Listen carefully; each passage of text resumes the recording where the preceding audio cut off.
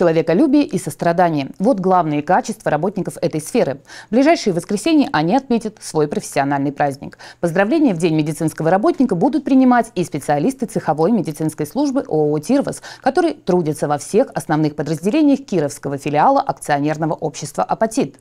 Сегодня цеховая медицинская служба в целом, как и здравпункты в подразделениях предприятия в частности, это совсем не то, что было 7-10 лет назад. Самые передовые технологии компания «Фосагра» внедряет не только на производстве, но и в этой сфере. Да, очень изменилось.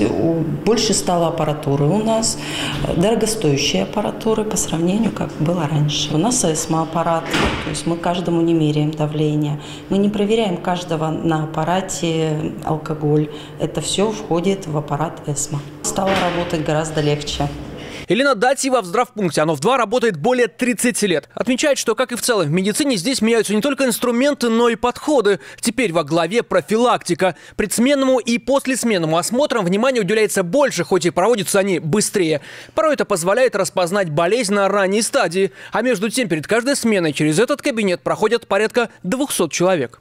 Также мы осуществляем различные процедуры по назначению врача, поскольку э, зачастую нет времени да, посещать процедурные кабинеты. Очень удобно работникам обращаться именно с процедурами, такие как внутримышечные инъекции, да, плановое назначение какие-то, возможно, перевязки какие-то плановые. Но самое важное в работе медика цехового здравпункта – умение быстро сориентироваться в любой ситуации и профессионально оказать экстренную неотложную помощь. Будь то травма, приступ или обострение хронического заболевания. Цена умения – человеческая жизнь.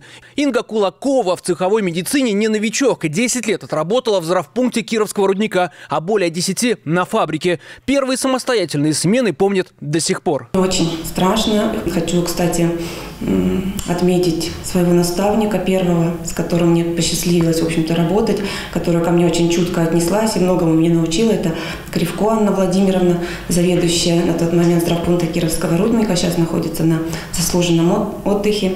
И первую свою самостоятельную смену, конечно, помню.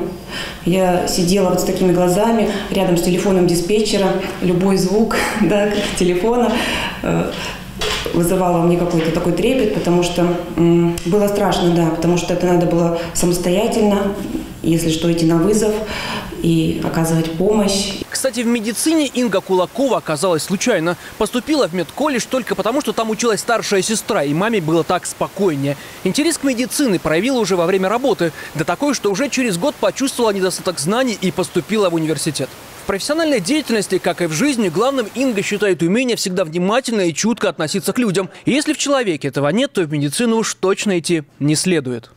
От всего сердца хочу их поздравить, потому что без них никак нельзя. А, потому что вся, в самые сложные моменты мы обращаемся куда? Ну, к ним, если там по здоровью что-то. Вот, так что большое им спасибо за то, что они у нас есть.